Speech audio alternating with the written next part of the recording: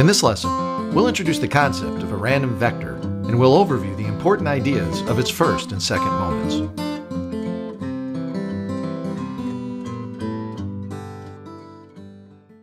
Well, a random vector is simply a collection of random variables. In some situations, they might correspond to samples of a signal in time or pixels in an image. In other situations, they might describe the physical state of a system, such as the position, the velocity, and the acceleration. Well, in any situation, a complete statistical description would involve the joint density function for all elements of the vector.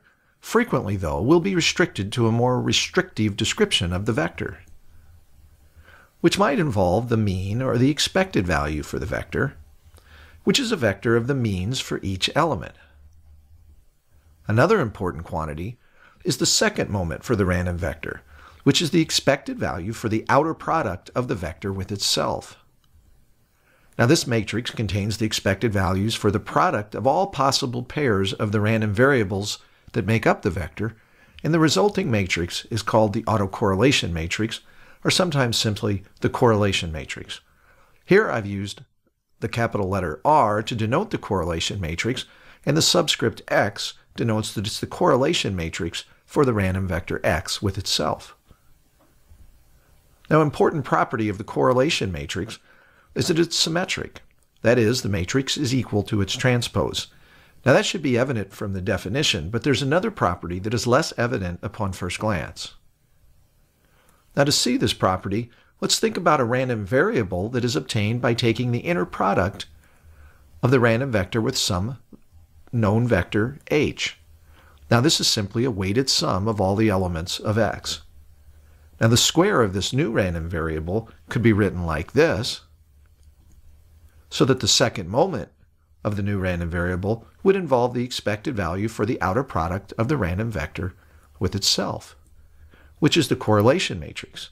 Now, because the second moment for a random variable must be non-negative, this quadratic form for the correlation matrix must also be non-negative for any possible vector h. This means that the correlation matrix must be non-negative definite. That is, the quadratic form with any vector h, h transpose times the correlation matrix times h, must always be greater than or equal to 0. Now those two properties, that the correlation matrix must be symmetric and that it must be non-negative definite, are characteristics that all correlation matrices must possess.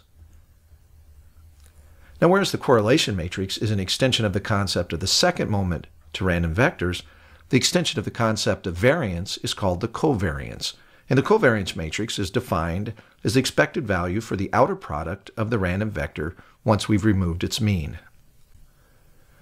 Now, with a little manipulation, it's easy to show that the covariance matrix is equal to the correlation matrix minus the outer product of the mean vector. Now, like the correlation matrix, the covariance matrix must be symmetric and non-negative definite. In subsequent lessons, we'll review some of the important ways that we use second moment descriptions, such as the covariance and the correlation matrices for random vectors.